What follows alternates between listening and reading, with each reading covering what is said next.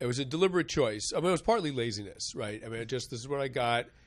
Uh, like I stopped drinking a few years ago, and then I was thinking maybe I'll just go back to drinking. I was like, no, it's too much effort. I'm just going to keep not drinking because it's just easier than drinking.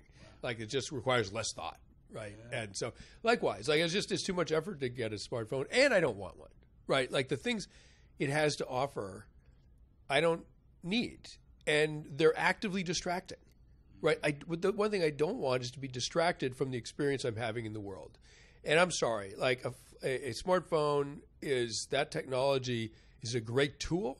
It can do a lot of amazing things, but the one thing, the one thing it doesn't actually do is promote your sense of I am here now, surrounded by life. Like it sucks you out of the moment and out of the place. And I'm 61. I don't want to be sucked out of my moment, right? Like this, this is all I get. This is all any of us get. And